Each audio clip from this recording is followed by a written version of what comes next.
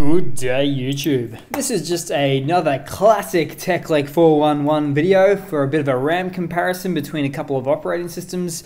And the one on the left we have is actually Windows 7 and the one on the right is Lubuntu 20.10. Now this is actually, in my mind, a pretty good comparison because they're both uh, let's call it a little bit more simplified operating systems in a way. And uh, one's quite old, one's quite new, in fact. But they are both lightweight for, for the operating systems that they are. So probably one of the most lightweight Windows operating systems that anyone might use today, and the same goes for Lubuntu really.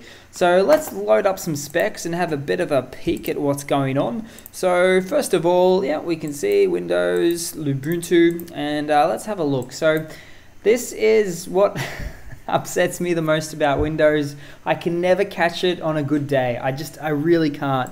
Nothing's loaded up in the background. Maybe, maybe we have a Windows update somewhere, but uh, probably pretty unlikely with Windows 7.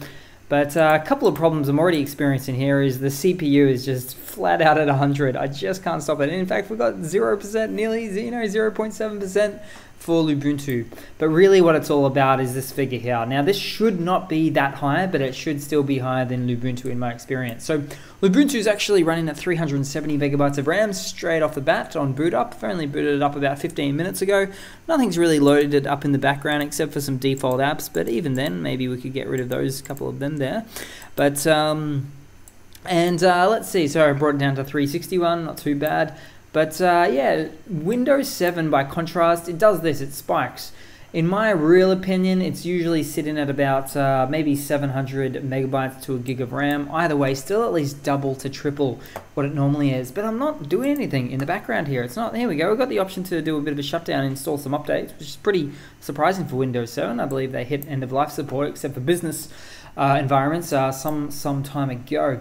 But um, yeah, well, excuse me. But yeah, just a bit of a fun, fun, quick look at these two. By no means a scientific assessment, just a bit of a feel for the leftover RAM after the operating systems used all up. starting to cough, so I'm going to stop the video. But cheers, guys. Thanks for watching. Please leave a comment, subscribe, and uh, hope to see you guys again. Ciao.